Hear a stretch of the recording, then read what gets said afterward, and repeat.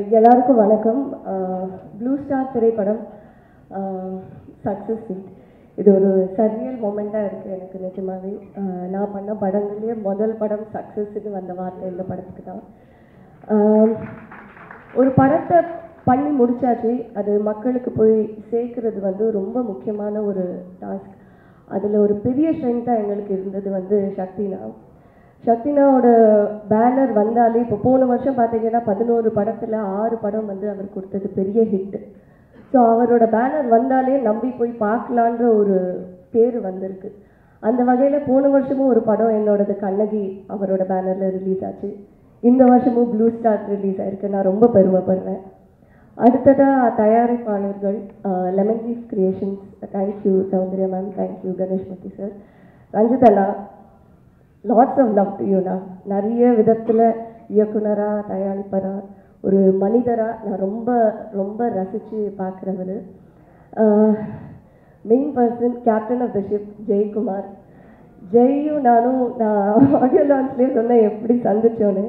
இந்த ரெண்டு வருஷம் பயணத்தில் அதிகமாக நான் ஜெய் கிட்டேருந்து கேட்ட வார்த்தை வந்து டென்ஷனாக இருக்கு கீர்த்தி அப்படின்னு ஒரு நானாக தான் கால் பண்ணுவேன். என்ன நடக்குது ஜெய்? எப்படி போயிட்டு இருக்கு ஆடிஷன் நடக்குதா? ஒரே டென்ஷனாக இருக்கு கீர்த்தி. அதுதான். பார்த்துக்கலாம் ஜெய். பார்த்துக்கலாம் ஜெய். ரெண்டு வருஷம் நான் அதிகமாக அவர்கிட்ட சொன்னது பார்த்துக்கலாம் ஜெய். அவர் என்கிட்ட சொன்னது இந்த வார்த்தை. ஒன்றே ஒன்று நான் நம்பினது என்னன்னா இந்த கதை இதில் இருக்கிற கதாபாத்திரங்கள் அவங்களோட பயணத்தை அவங்க ஆல்ரெடி முடிவு பண்ணிட்டாங்க. அவங்க எங்கே போய் சேரணும்னு அவங்களுக்கு தெரியும். அதுக்கு உண்டான ஹண்ட்ரட் பர்சன்ட் உழைப்பு நம்ம கொடுத்தாகணும் இந்த நொடியில் இந்த நிமிஷத்தில். அதை பற்றி மட்டும் யோசிப்போம். அப்படின்னு தான் நான் எப்போவுமே அவர்கிட்ட சொல்லுவேன். அவரும் அதை நம்பினாரு.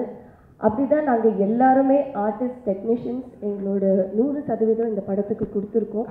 அதுதான் இன்னைக்கு ஜனவரி ஜனவரி முப்பத்தி ஒன்றாவது நாள். Two thousand twenty twenty four இங்கே சக்ஸஸ் மீட்டில் வந்து நின்றுட்டுருக்கோம்.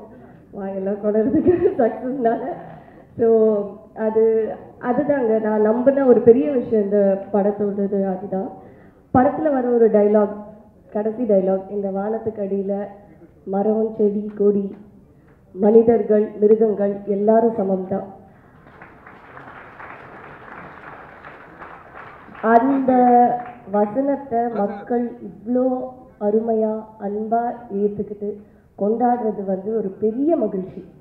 என்னோட ஒரு ஒரு என்னோட ஒரு மெயின் தாட் அது எப்போவுமே எல்லாரும் சமம் தான் மிருகங்களும் உட்பட்டு எல்லாரும் சமம் தான் ஸோ அந்த விதத்தில் இது ஒரு பெரிய பெரிய பெரிய வெற்றி.